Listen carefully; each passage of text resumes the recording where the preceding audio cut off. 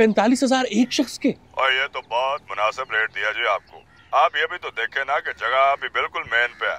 Gate से दाखिल होते ही दाएँ तरफ़ प्राइम लोकेशन प्लाट थोड़ी ले रहे हैं कि फेसिंग पार्क है तो कीमत ज़्यादा होगी। और जी प्लॉट तो आज है कल नहीं। यहाँ तो हमेशा ही रहना होता है। और अभी तो ये बाहर का रेट है। शहर खामोशा में भी सोसाइटीज काट लो गरीब के लिए तो अब इस शहर में दफन होना भी मुमकिन नहीं रहा। इकबाल ने शायद इसी दिन के लिए कहा था तेरे आज़ाद बंदों की न ये दुनिया न वो दुनिया। कितनी कब्रें चाहिए और कब तक तैयार चाहिए? कितनी कब्रें चाहिए ये तो हम शाम को ही बता सकते हैं।